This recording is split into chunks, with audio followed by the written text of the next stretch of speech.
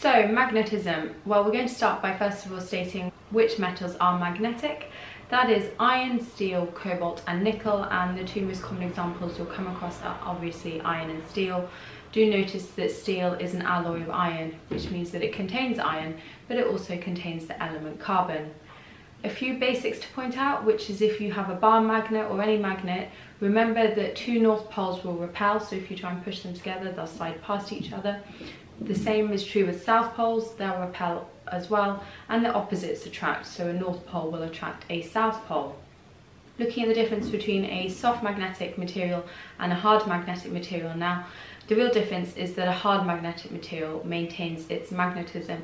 So steel, for example, is a hard magnetic material. It does not lose its magnetism easily, whereas iron loses it very easily. And to put this into context, if we use a scrap metal yard as our example here, scrap metal yards are full of big old lumps of iron which need moving around. Now you actually use a magnet to move them around and what you do is you turn on a massive iron electromagnet and it becomes magnetized. It clamps down and picks up that metal that it's trying to move and then when you've moved it across to the new position you can basically cut the power source and it will lose its magnetism.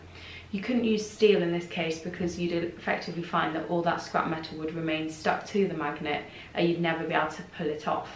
So what is a magnetic field line? Well, it's the space around a magnet whereby magnetism can be detected. And in terms of designing experiments whereby you can determine the shape of magnetic field lines, you have two options here. First of all, iron filings, and secondly, using plotting compasses. So what you do is you get a piece of paper, you sprinkle iron filings onto it, and then you place a bar magnet underneath, and you'll see that those iron filings align themselves with the magnetic field. With a plotting compass, instead, you place your bar magnet on a piece of paper, you place a plotting compass near to it and you make a note of the direction which the arrow on the plotting compass is pointing and then you pick it up, put it in a new position, keep repeating that process until you've drawn the magnetic field lines.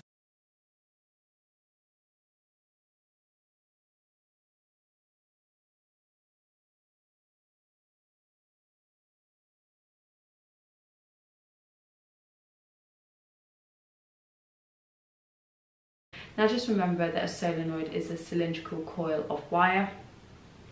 Touching now on the right hand grip rule, so this is just a way of showing the direction of magnetic field lines. So my thumb represents a wire, so in this case it's going from north to south or from up to down. And you might be asked to draw the magnetic field line directions and just follow the direction which your fingers are pointing. Be aware of a uniform magnetic field and all you'll see here is that the lines the magnetic field lines are evenly spaced and that they're parallel and those are the two points you need to point out with a uniform magnetic field. So how can an object's magnetism be induced? So how can it become magnetic? Well first of all you need to start with a magnetic metal such as iron and steel and then you can place it inside the magnetic field of a permanent magnet and its magnetism will be created or induced. Obviously the moment you remove that object, the iron object, from that magnetic field, it will lose its magnetism. Steel, I've already pointed out, is a hard magnetic material, so it will tend to retain its magnetism. So how is a simple electromagnet constructed? And that's simply by connecting a wire to a circuit and running a current through it. How can we increase the strength of the magnetic field of that wire carrying a current?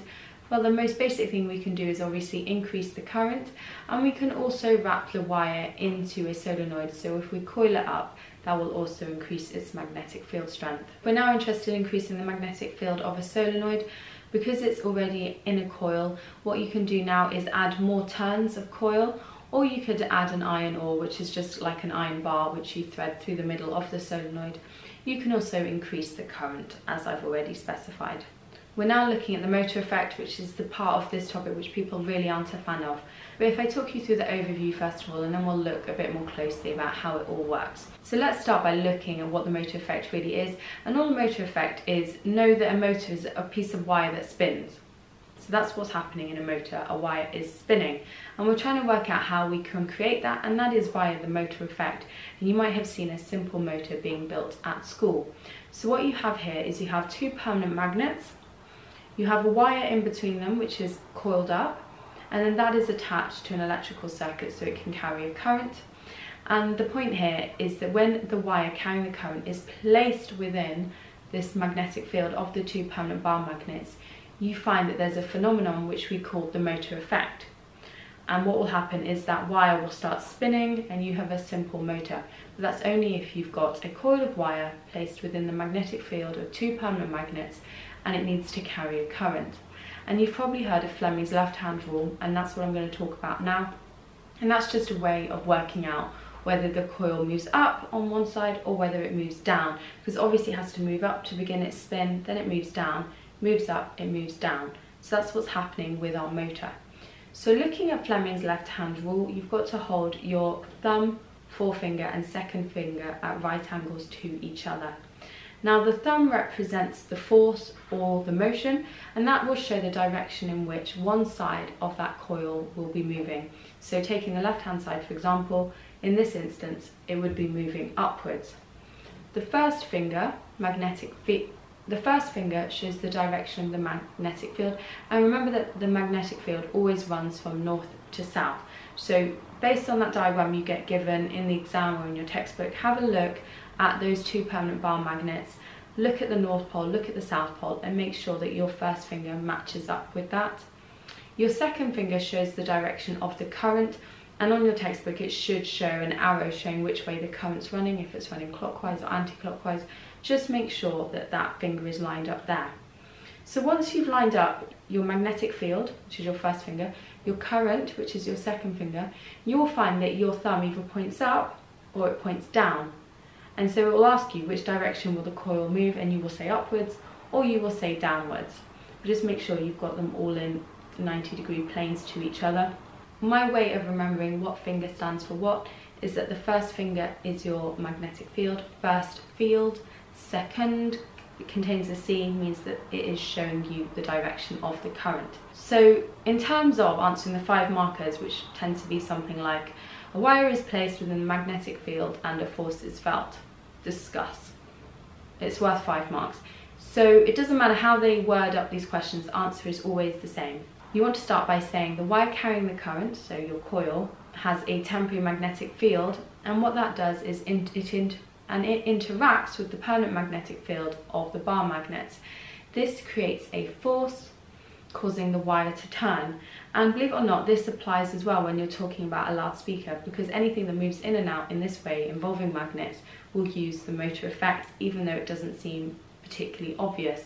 So taking the speaker cone for example, we start by saying that the wire carrying the current has a temporary magnetic field.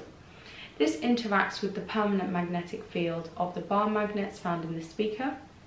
This creates a force and this force moves the speaker cone upwards, vibrating air particles causing the sound that reaches your ears. So you're using the same answer here and honestly as long as there's a wire moving or the speaker cone moving your answer remains the same. The photograph shows a small electric motor. Explain why the coil starts to spin when the switch is closed. Remember this is a magnetism question, so this is an answer which you can definitely rote learn. So what you want to say is when the switch is closed that the current flows around the circuit. This creates a temporary magnetic field around the magnet, which you can see is near the coil. It's, it's stuck in the coil, so right here is where the magnet is. So this temporary magnetic field interacts with the permanent magnetic field of the magnet, which creates a force, and that force is what is used to turn the coil. And you can mention Fleming's left hand rule just for an extra mark. Suggest how to make the coil spin in the opposite direction. The obvious thing here is to switch the direction of the current, or you could have swapped the magnets over. Suggest how to make the coil spin more slowly. So, how do we weaken that magnetic field? Well, we can reduce the current you could also reduce the voltage or had a weaker magnetic field, which is harder to quantify. 3a, state what is meant by the term magnetic field line, and that's a line that shows the direction of the magnetic field. The diagram shows a cross section through a wire placed between two magnetic poles, and the wire carries electric current into the page at x. The shape of the magnetic field is shown. Add arrows to any two lines to show the direction of the magnetic field. Now remember that it runs from north to south and we have to do that on at least two lines. So I've done two there. Draw an arrow on the diagram to show the direction of the force on the wire and label this F. So this is where Fleming's left hand rule comes in. So remember that your thumb shows the direction of the force, your index finger shows the direction of the magnetic field, and your second finger shows the current. So make sure you you're holding your left hand up here. Make sure that your second finger is pointing downwards at X. Then line it up so that your first finger is pointing north to south. And then when you've done this, you'll see that your thumb is pointing to the right. And remember that shows the force, which is why it's in this direction. Now we need to describe the magnetic field in the region shown inside the dotted square. So if you have a look at that, you can see that first of all, the magnetic field isn't uniform because the lines are differing spaces apart. And also notice that they're flowing in the same direction, so they are parallel to each other.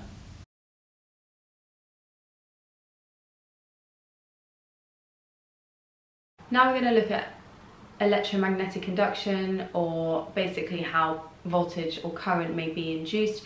It's a very similar concept, we just need to look at it from a slightly different angle. So I hope you realise that with your force and your magnetic field and your current, it's a bit like a physics formula triangle, which is that if you put in magnetic field and you put in current, then you get force.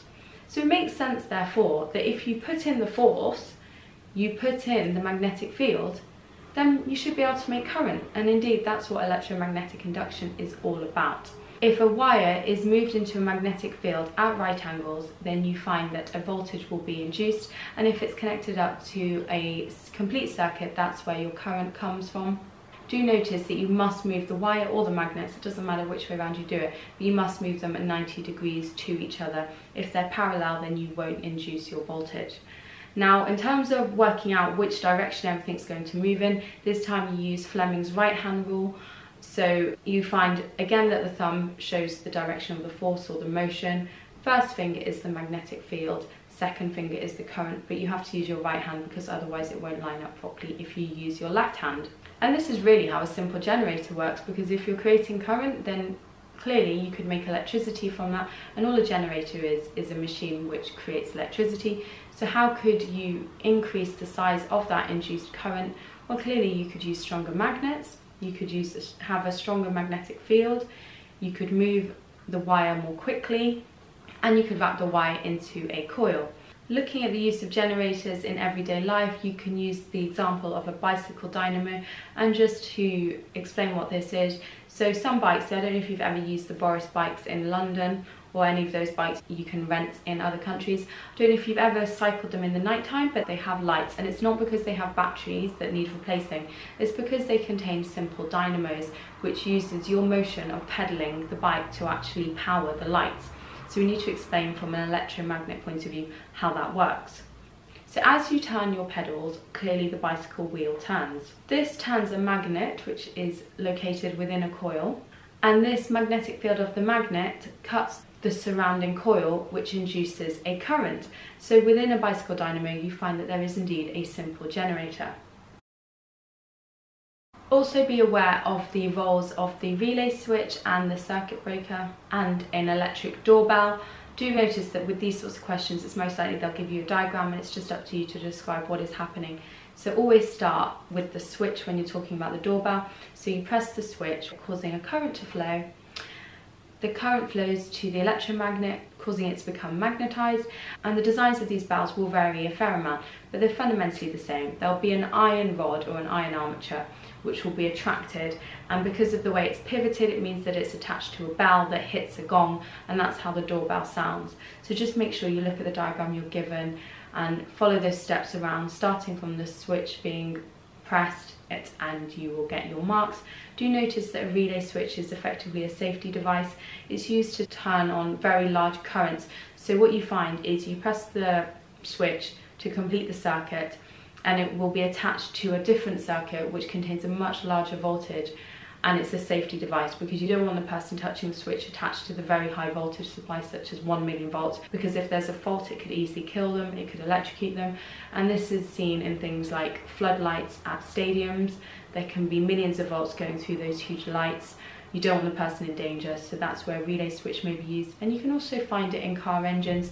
You turn your key that will be involved in a relay switch which will be involved in turning on the car engine With the circuit breaker, this is a safety device used in houses. So it's when the current becomes dangerously high, you find that the electromagnet becomes magnetized, pulling away part of the circuit, meaning that the circuit is no longer complete and therefore you've cut off the supply. In electricity, you'll have met fuses. They work in a similar way. They're both safety devices. However, you will find that a circuit breaker is preferred because it responds far more quickly and it's much easier to reset because you simply press a button. Now it's time to look at the maths element of this topic, so we need to look closely at transformers and using the various equations involved in that.